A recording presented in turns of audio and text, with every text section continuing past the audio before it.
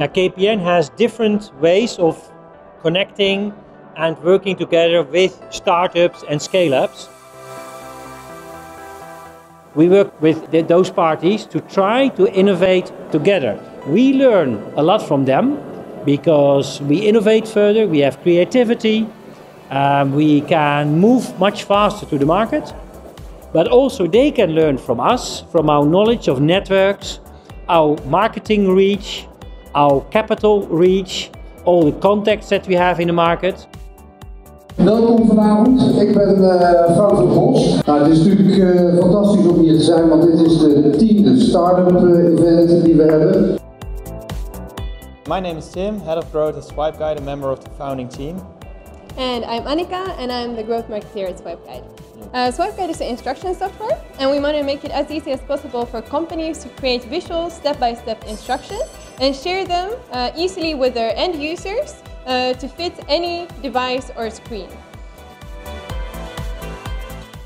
We are Sustainder. We make smart luminaires for smart cities and we want to make cities more uh, safe and more secure and better to live in.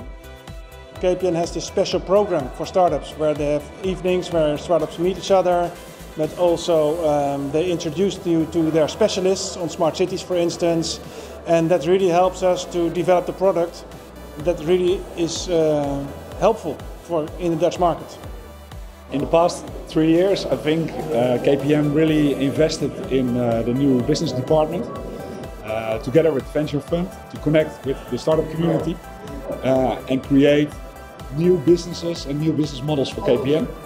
Uh, examples like in IoT, where we do locks for the bicycles. It's a nice example of using the traditional connectivity business of KPN into new business models to, uh, uh, to help our customers in the, in the consumer space.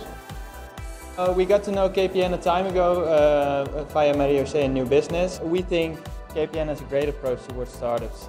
They facilitate all kinds of uh, pitches, events like this, where we can present ourselves as a, as a startup towards your business, but also involving other businesses. Last week we uh, joined the 5G challenge of KPN and we really enjoyed it. It's a good example of, of how it works great with KPN. Um, we were able to pitch our product to real experts, but not only from KPN, but also from the municipality of Amsterdam and the arena area. And it was funny to see that in all pitches and all uh, talks we had, that it really resonated very well what we are doing and what KPN and his partners are looking for. Now, what we can bring is a tremendous uh, market reach, regardless if it's in the B2B market or in the B2C market. You know, we have many, many, many clients. And I think those clients, with a trusted brand as uh, KPN, would really be open and willing to try new things and, you know, explore new opportunities. And I think that's where the opportunity also sits for the, uh, for the startup is, is you know, tasting what it is to bring your product to a market with what I call the green machine behind you. And the green machine is really the power uh, we, can, uh, we can unleash uh, in the market. So in the future, I believe very strongly that corporates and startups will even more engage together. Because where we have seen the 20th century, the corporate century, the 19th century, you could say, the start of many businesses, so maybe a startup uh, century.